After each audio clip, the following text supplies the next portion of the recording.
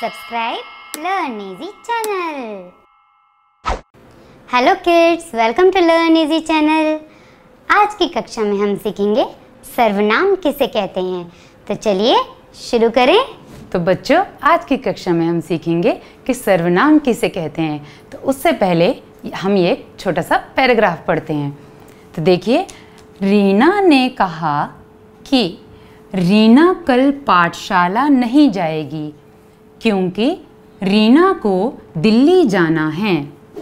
रीना रीना की नानी जी को देखने दिल्ली जा रही है। रीना की नानी जी बीमार हैं। क्या आपको इसमें कुछ अजीब लग रहा है इस पैराग्राफ में? कुछ अटपटा सा नहीं लग रहा कि ये बार बार बार बार नाम क्यों लिया जा रहा है? बार बार ये रीना नाम देखिए बार बार जो है हम इस रीना नाम को दोहराए जा रहे हैं। क्यों? और इस तरीके से बार बार रीना नाम लेने से ये पैराग्राफ जो है कितना अटपटा लग रहा है। बोलने में भी हमें रुकावट आ रही है और सुनने में भी नहीं अच्छा लग रहा। तो अब इस पैराग्राफ में मैं कुछ बदलाव करती हूँ तो देखते हैं उसके बाद ये पैराग्राफ कैसा लगता है। अब देखिए, रीना ने कहा कि अब यहाँ पर रीना की जगह मैं लिख दूँगी यहाँ, वह। वह कल पाठशाला नहीं जाएगी क्योंकि अब इस रीना की जगह क्या लिख दें हम? उस। उसको दिल्ली जाना है। रीना रीना की नानी जी को देखने दिल्ली जा रही है। अब यहाँ पर क्या आएगा? सोचो ज़रा बार बार दो बार रीना नाम आ गया। तो यहाँ पर इस रीना की जगह हम लिख देंगे वह और इस रीना की जगह लिख देंगे अपनी।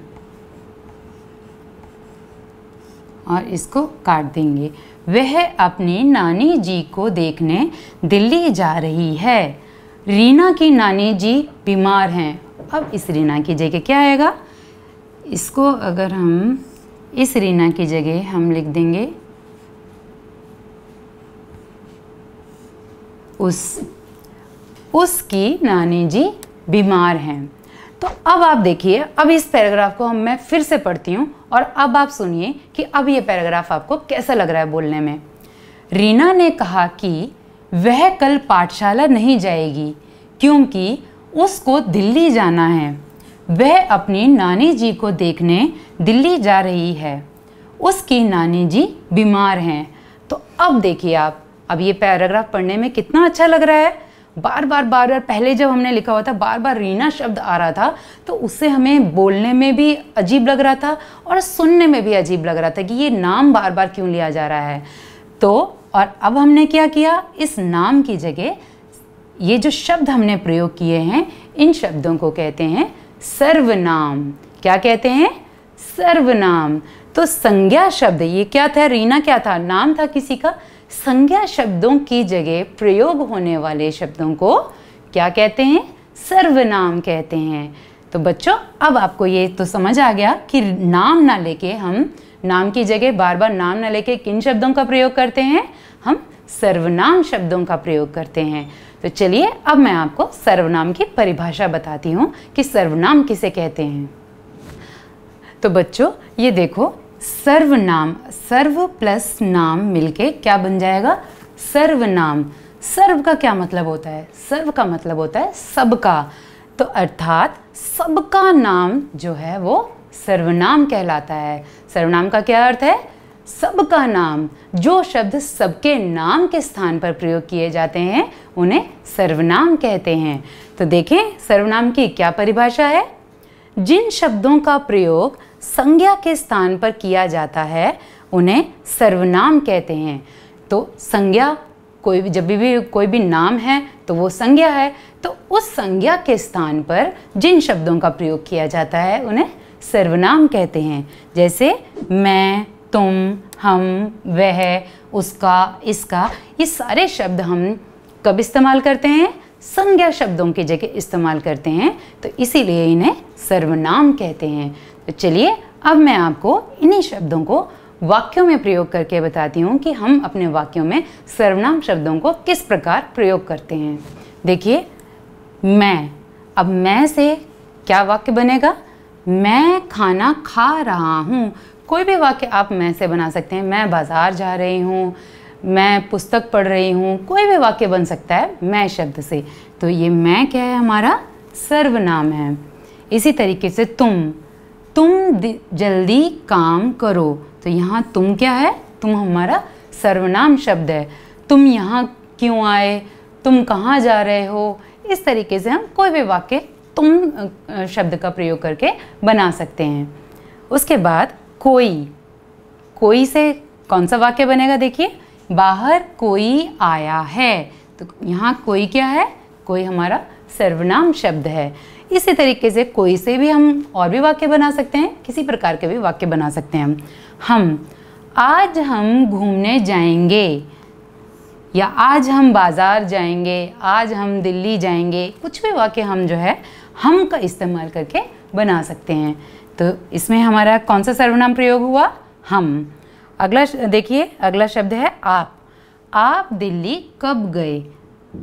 यहाँ आप क्या है हमारा? सर्वनाम शब्द है। तो देखा आपने किस तरीके से और ये सारे शब्द जो हैं, हम रोज़ प्रयोग करते हैं, सारा दिन हम इन सर्वनाम शब्दों को अपनी भाषा में प्रयोग करते रहते हैं।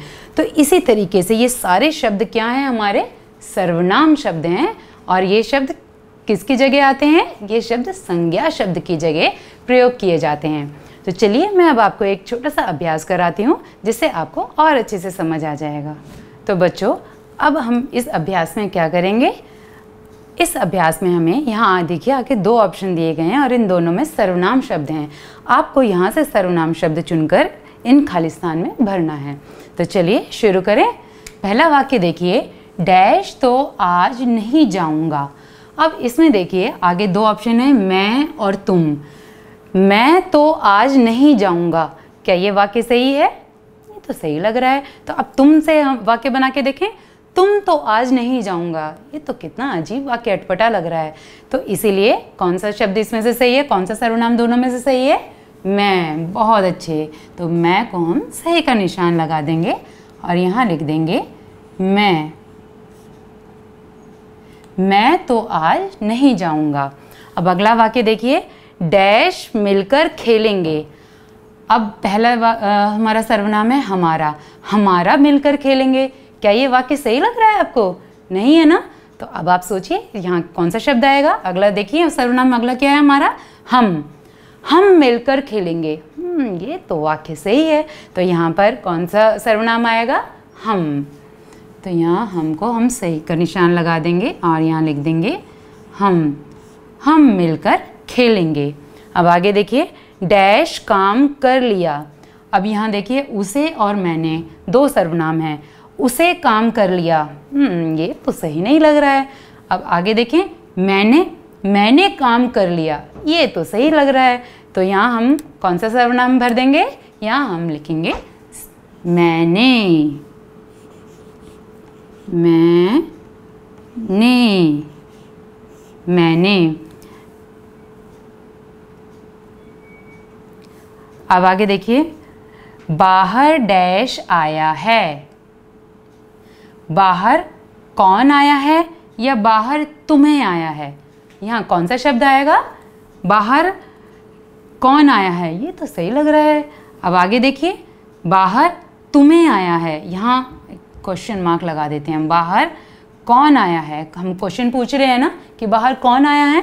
तो इसीलिए यहाँ पर कौन आ जाएगा और कौन को हम सही का निशान लगा देंगे। कौन? अब आगे देखिए अगला वाक्य। डैश रमेश का भाई है। अब रमेश का भाई कौन है? देखिए। वह रमेश का भाई है या उसे रमेश का भाई है? दोनों में से कौन सा सर्वनाम शब्द सही लग रहा है आपको? वह। बिल्कुल सही। तो वह को हम सही का निशान लगा देंगे और यहाँ लिख देंगे वह। तो आपने देखा इन सारे वा, वाक्यों में हमने सर्वनाम शब्दों का प्रयोग किया। पहले में हमने मैं, देखिए, मैं तो आज नहीं जाऊँगा। यहाँ मैं शब्द जो है हमारा सर्वनाम के रूप में प्रयोग हुआ। यहाँ देखिए, हम मिलकर खेलेंगे। यहाँ हम सर्वनाम का प्रयोग हुआ। मैंने काम कर लिया। यहाँ मैंने सर्वनाम शब्द का प्रयोग हुआ। बाहर कौन आया है? यहाँ कौन शब्द का प्रयोग हुआ? वह रमेश का भाई है। अब यहाँ वह, यहाँ क्या आया? वह। तो आपने देखा इन सब जगह जो है, नाम की जगह हमने किसका इस्तेमाल किया? नाम की जगह हमने सर्वनाम शब्दों का प्रयोग किया है। तो बच्चों, सर्वनाम किसे कहते हैं? ये तो आपको बहुत अच्छे से समझ आ गया होगा। जो शब्द संज्ञा के स्थान पर प्रयोग किए जाते हैं, उन्हें सर्वनाम कहते हैं। तो चलिए, आज की कक्षा में इतना ही। अगली कक्षा में फिर मिलेंगे। तब तक के लिए bye. Learn easy. Subscribe Learn Easy channel.